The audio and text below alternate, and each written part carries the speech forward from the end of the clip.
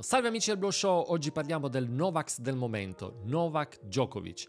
Per chi si fosse perso questa storia facciamo un breve riassunto. Il campione serbo, che è il numero uno della classifica ATP, è atterrato in Australia per partecipare agli Australian Open. Per molto tempo si è speculato che Djokovic, che ha scelto di non vaccinarsi, potesse non partecipare al torneo. Poi a dicembre si è iscritto e ha mandato le pratiche richiedendo un'eccezione che è prevista al regolamento del torneo. Questa eccezione è stata concessa, Djokovic si è imbarcato per l'Australia, ma alla dogana è stato fermato. Il visto non è stato ritenuto valido dalla gente, gli hanno tolto i suoi effetti personali e lo hanno rinchiuso in isolamento in attesa di espatriarlo. E questa occasione non è parsa vera a tanti commentatori del web e a tanti giornalisti, da Andrea Scanzi a Lorenzo Tosa a scendere, che si sono scatenati a flagellare questo peccatore e, e ad esaltare il primo ministro australiano che è quest'uomo con le palle che non guarda in faccia a nessuno, uno che fa rispettare la legge, insomma, che l'idolo contro questi odiosi Novax. E la narrazione più o meno era la seguente, che Djokovic, essendo che è il numero uno del tennis e anche un arrogante Novax, pretendeva di entrare in Australia e fare i suoi porci comodi.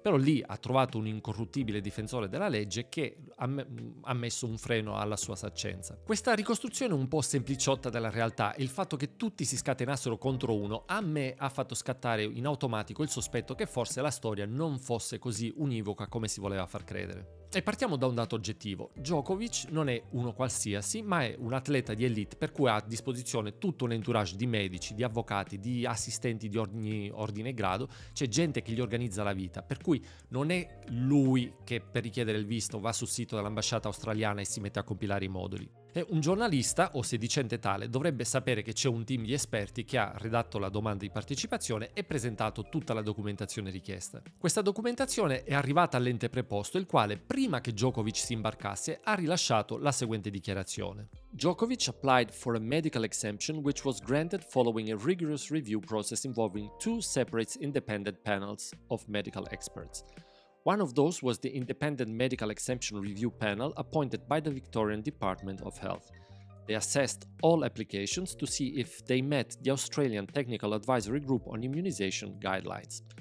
Defending champion Djokovic will play for an incredible 10th Australian Open trophy and the men's record 21st major single title and will be and will be the favorite in a draw which showcases 49 of the world's top 50. Quindi tradotto per chi non conoscesse l'inglese, l'application di Djokovic è stata verificata da due commissioni indipendenti e nominate dal governo dello Stato di Victoria. Questa commissione è formata da medici che sono esperti in immunologia, malattie infettive, medicina generale e applicano i criteri della Australian Technical Advisory Group on Immunization che sono dei criteri estremamente stringenti. E quando tutti i commentatori festeggiavano per la deportazione di Djokovic, io, magari attirandomi diverse critiche e alcuni sfottò, ho previsto che ci fossero le basi per un ricorso e anche la possibilità di vincerlo e l'ho motivato sia con il com- comunicato di qui sopra e anche le mie approfondite conoscenze del common law che sono culminate con una laurea ad Harvard che ho conseguito grazie alla visione di 134 puntate della serie Suits.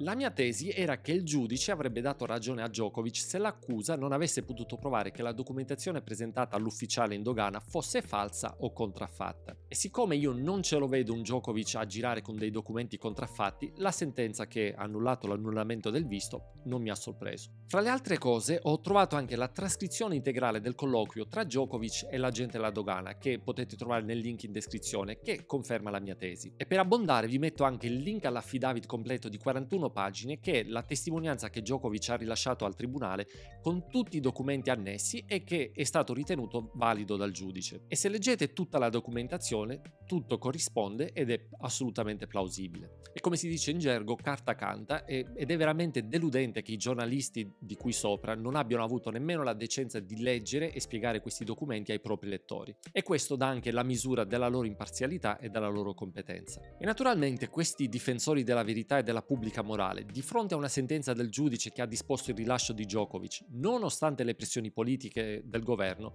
non è che dicono oh scusate ci siamo sbagliati, ma no, raddoppiano e partono con la tiritera che Djokovic è un pessimo esempio di uomo e pur di non ammettere di aver torto, da un interrogatorio che è durato 8 ore, dalla mezzanotte alle 8 del mattino, estraggono una frase dove Djokovic si sarebbe contraddetto e quindi essendo che si è contraddetto è sicuramente un imbroglione.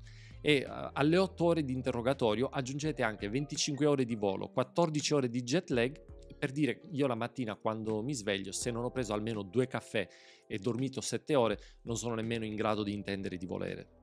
E naturalmente il pubblico, aizzato da questi influencer, questi opinion maker, si è scagliato in massa contro Djokovic. Eh, come si permette? Io ho fatto tre dosi e questo impunito va a giocare a tennis. Ora, a parte che tu, anche se fai 300 dosi, non sei cosa nemmeno di tenere la racchetta a Djokovic, qui c'è un problema che secondo me è il vero problema di tutta questa situazione legata alla pandemia. E come avevo previsto qualche mese fa nel mio testamento, eh, metto il link qua qua, la, la, creazione di queste tribù pro-vax e no-vax, questa guerra costante e logorante, ci mette gli uni contro gli altri. E se vedete i commenti, la gente fa dei collegamenti astrusi tra Djokovic con i morti dei nostri ospedali, al fatto che noi abbiamo fatto tre dosi siamo pure disposti a fare la quarta e tra poco chiuderemo di nuovo le scuole e chissà che cosa, cos'altro, e lui invece non si vuole piegare, non vuole darci la sua solidarietà vaccinandosi e dovrebbe anche chiedere perdono per la sua scelleratezza. Ora queste persone non vengono nemmeno sfiorate dall'idea che lui e i suoi colleghi stanno,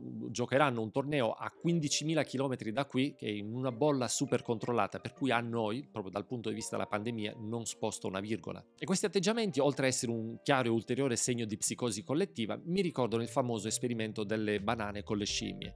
Per chi non lo conoscesse, uh, questo esperimento insegna o spiega come nascono i tabù o certi comportamenti collettivi irrazionali o inspiegabili, o come nascono le fobie o l'isteria di massa. Questo esperimento, che fu condotto secondo la leggenda da un tale dottor Goran Stephenson, fu svolto nel seguente modo.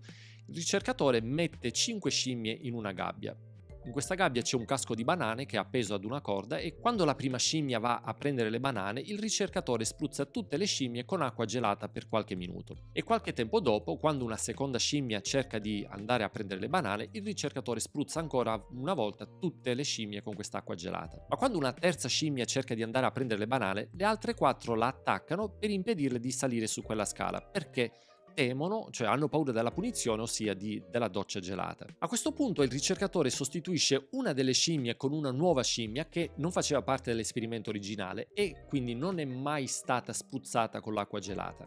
E non appena questa scimmia tocca la scala per andare a prendere le banane, le altre quattro la attaccano per impedirle di farlo. E così la nuova scimmia impara a non provare a raggiungere le banane perché se lo fa verrà attaccata. Il ricercatore sostituisce poi un'altra scimmia e anche questa quando va a prendere le banane, le altre quattro la attaccano, inclusa la nuova scimmia che non era mai stata spruzzata con l'acqua gelata. Il ricercatore così continua a sostituire tutte le scimmie una alla volta fino a quando tutte e cinque le scimmie originali saranno state rimosse dalla gabbia. E ogni volta che il nuovo arrivato va a prendere le banane, le altre la attaccano, anche quando non hanno mai ricevuto la punizione per aver provato a raggiungere le banane. E così le nuove scimmie, che non sono mai state spruzzate con acqua gelata, imparano a non inseguire la tentazione delle banane e si scagliano con violenza senza alcun motivo contro chi vuole raggiungere la banana. Quindi se vi incazzate per Djokovic e sentite il bisogno di scaricare la vostra aggressione su di lui, ricordatevi delle scimmie e delle banane. Questo studio è stato elaborato ulteriormente e i suoi principi vengono sfruttati nella psicoterapia nell'ambito dei disturbi di ansia e delle fobie dove lo psicoterapeuta sfrutta questo principio e procede a ritroso per aiutare il paziente a ricostruire la storia e capire qual è la causa delle nostre psicosi e perché crediamo che se una cosa è sempre stata così, deve continuare ad essere così. E nel caso della società questo ruolo dovrebbero averlo i media, i giornalisti, gli storici, gli intellettuali, però io qui la vedo brutta perché troppe cose mi ricordano i romanzi di Orwell e le, le distopie dei film di fantascienza. O per tornare all'esempio di prima, siamo pieni di persone che spruzzano acqua gelata per stimolare l'aggressività. Chissà che forse prima o poi ci sarà un bambino nella folla che avrà il coraggio di gridare che il re è nudo e ricominceremo a ragionare. Per oggi è tutto e alla prossima e se vi va lasciate un like e condividete questo video sulla pagina social degli spruzzatori colori di acqua che preferite. Ciao! Only on the blow show, so here we go.